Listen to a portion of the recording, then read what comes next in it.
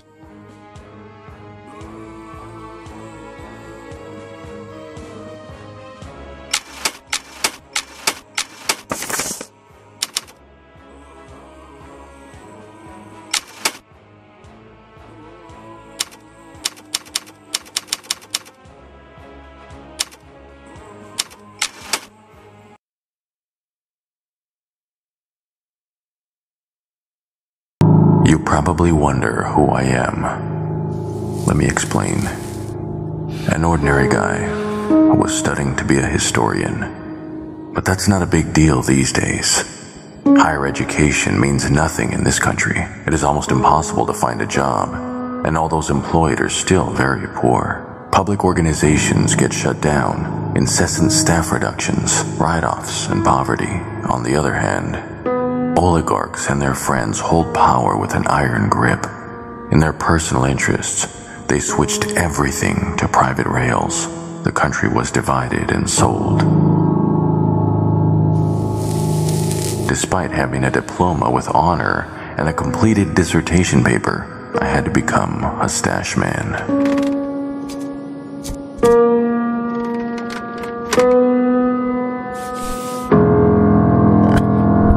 Stash man works hard, but can earn good money. In this damned world, money decides everything. You just cannot survive without it. Still, existential despair, ethical hopelessness, and inner decay are killing me. I wish the world were different. At least a little.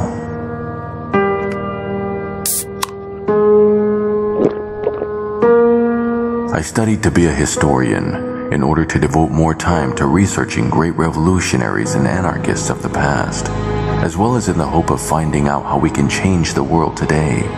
All in vain.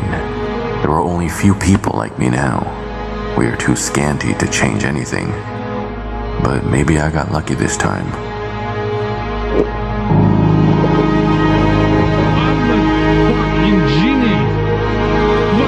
This is Semyon Mikhailovich, my neighbor and an inveterate alcoholic. When drunk, he talks all sorts of nonsense about the time machine and pretends to be a great physicist who studied in Germany. At least I thought it was nonsense. What the fuck you doing? It's my news. Until I put his wife on my cock one day.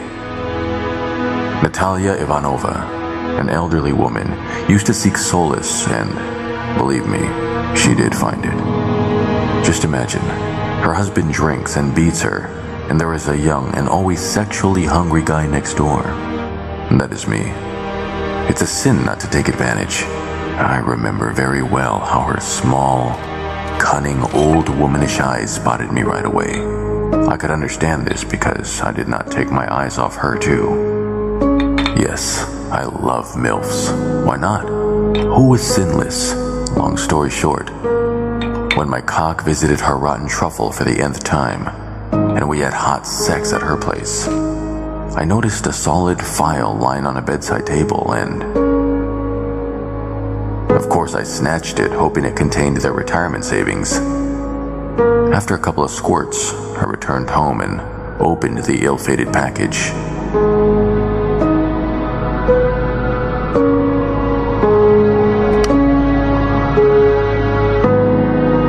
I say I was fucking shocked, that wouldn't be the exact word. I almost shit on myself of sincere and inhuman surprise. Instead of the expected retirement money, I discovered some documents showing that Simeon was not only an alcoholic, boomer, and cuckold, but also a recognized scientist working at Skolkovo.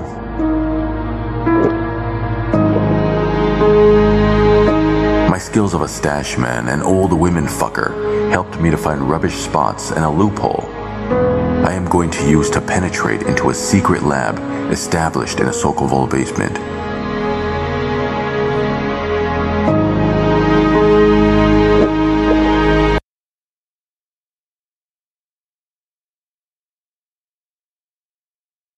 It was difficult, but I managed to get this secret object. Poor Semyon Mikhailovich. Apparently, he found out about his wife's betrayal. Now that does not matter, though, because I will change this country along with the whole world.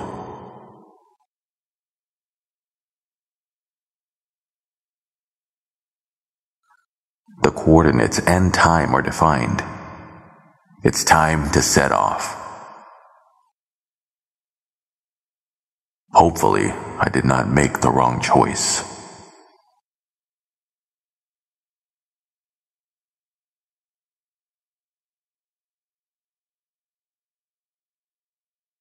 Живя в тени Ленина, Сталин методично расставлял своих сторонников на самых разных уровнях партийного аппарата.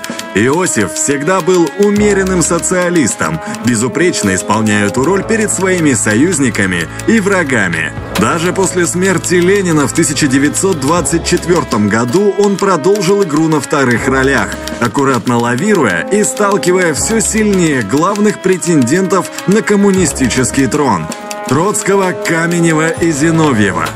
Сталин выступил инициатором и организатором ленинского призыва, массового набора в РКП 230 тысяч рабочих. Превращение партии из элитарной в массовую вызвало необратимые последствия, лишившие конкурентов сферы влияния.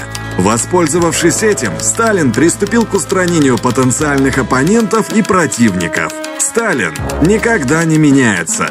Но только не все это видят.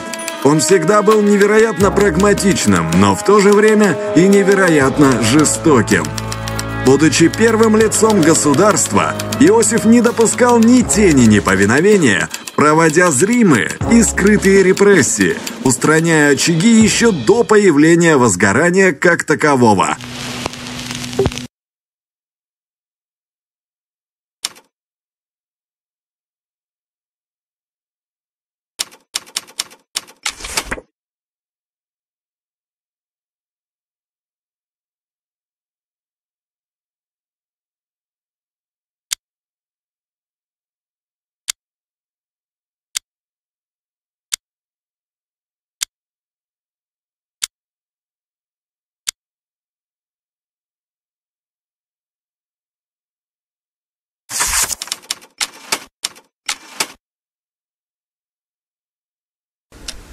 Hmm.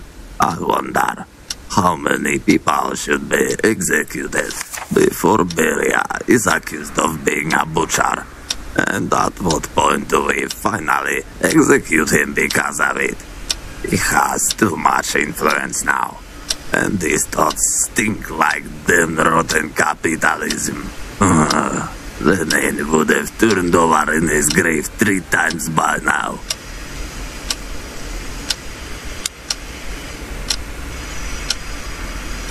Fucking fuck! NKVD! There's a spy! Shoot him! Well, wait a minute. You're naked. Why on Soviet land? There's a naked guy in my office. And he wants to rape that general secretary. Call for Comrade Beria right now. This is treason. State treason. Yes. Your shirt too doesn't look at all terrifying. Even Malenkov thing is more impressive, though he's never been famous for his.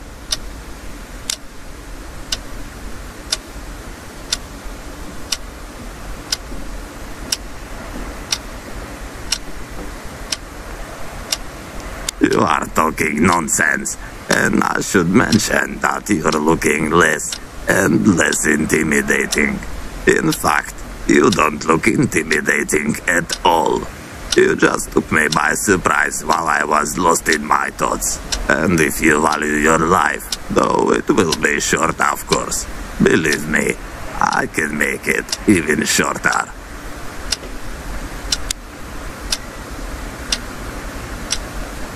So, you've chosen death then. You are lucky that I have not gun in my pocket. Alright, I can give you another choice. You wanna be shot in the head or in the heart?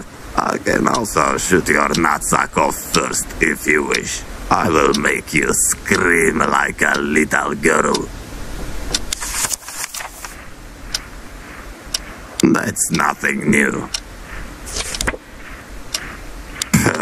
Not surprised. I'm already old, my dear boy. Of course he will. I didn't take him in hand for nothing. Me and Nikita Sergeyevich had a conflict in the past, but we settled it. And talking about Comrade Georgy, he's not far-sighted enough, and he understands it himself. She always was a romantic person with a passion for new things.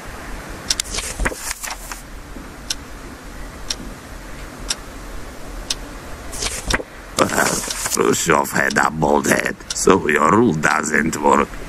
What? Stop. How can you know this indeed? Who are you?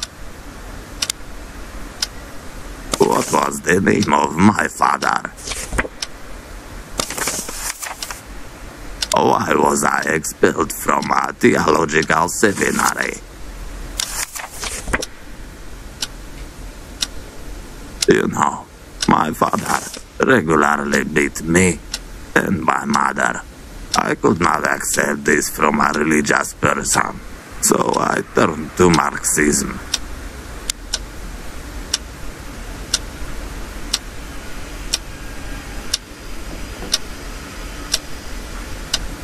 How was I when I lost my virginity? In your time, it's probably not a secret.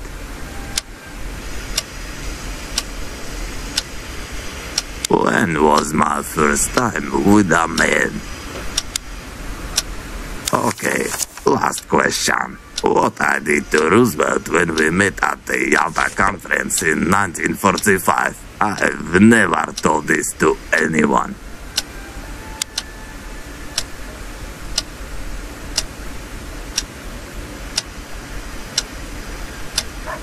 Okay, maybe you are from the future, or maybe you're a cunning liar. Anyway, you know too much. Don't worry, my dear. You have no chance of surviving through the night, so we can just take our time and enjoy this conversation. And why not? I have insomnia anyway.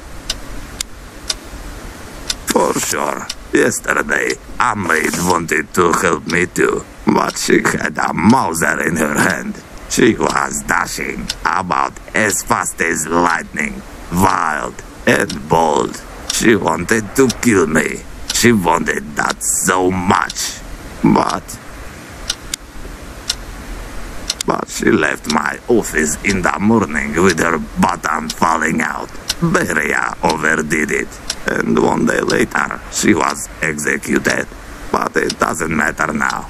Hmm, let's get started. But before, Comrade Time Traveler, please bend over and cough. I need to check you for spyware.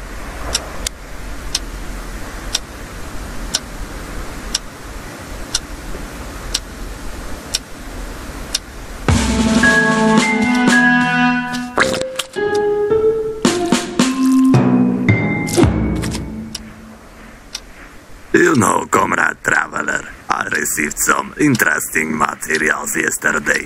I'm curious what you may think about them, and you can compare them to your time.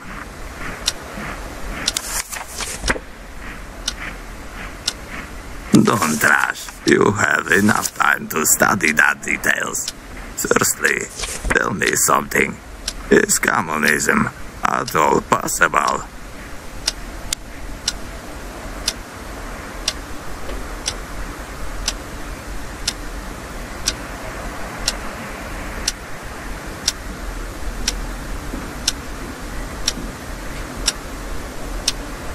That's not what I asked. You see, the author of the materials I mentioned before has built quite an interesting logic consequence. As you may know, the essence of communism was explained by Karl Marx. Well, in the highest phase of communist society, the division of labor that enslaves people will disappear, and the opposition of mental and physical labor will also vanish. Labor will never be just a means for earning a living. It will become the first need of life, from each according to his ability, to each according to his needs. That is communism. Our society is now at a stage of socialism. We have not yet reached that stage of socialization, that of both people and a means of production.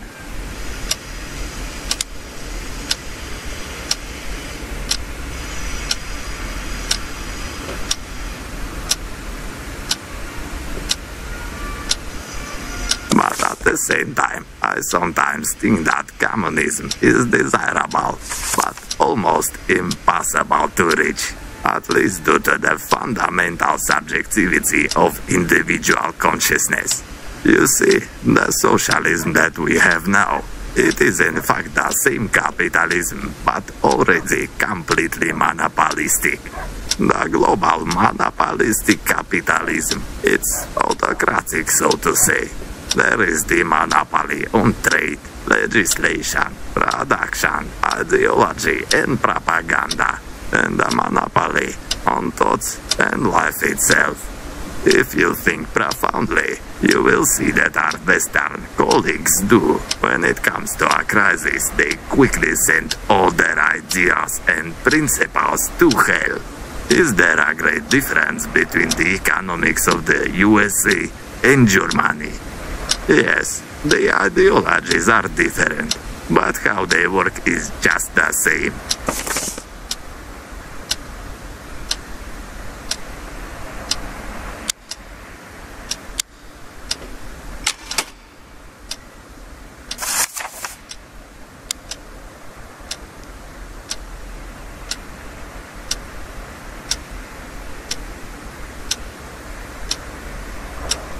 А действительно, почему не прекратить смуту? К сожалению, временами подобные шаги с нашей стороны необходимы, как хлеб, как воздух. И да, и нет. Вы явно смотрите на это как на убийство. Я прав? Знаете, как-то мне в руки попал черновик работы одного немецкого писателя. Там была, кажется, такая фраза.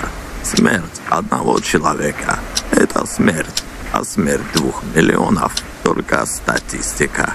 Сказано очень точно. Так вот, не я, никто бы то ни было другой, полагаю, не хотел бы видеть подобную статистику. Поэтому иногда приходится да, совершать убийство. Возможно. Но таким образом удается подавить очаги возгорания. В свое время царское. Держатели власти спокойно себе жили, так сказать, не тужили. Царская семья совершала все, что заблагорассудится. Имперские командирчики творили безрассудство и глупость отдавали совершенно нелепые приказы. Вспомните хотя бы Куропаткина. Но все-таки подкосило эпоху не моральное разложение, а именно появление мыслителей. В того же Владимира Ильича. Они посеяли ростки инакомыслия сперва в себе, а затем в окружающих, постепенно расширяясь и множась, подобно грибнице.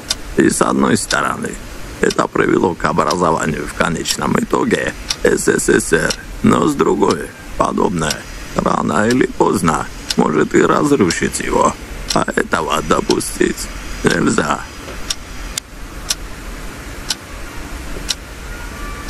Так и есть. Я скорее согласен, чем нет с идеей, что в основе коммунизма это так называемый самодержавный капитализм, но будет допустимым, если широк